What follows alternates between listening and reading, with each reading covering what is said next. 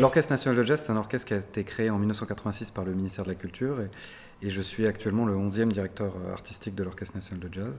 Euh, on s'inspire dans ce programme de, chants traditionnels en fait, qui sont utilisés. Euh, euh, c'est des textes en fait, de, chants traditionnels de, différentes cultures et on a essayé de construire le programme comme une succession de rituels journaliers, une succession de rituels chantés.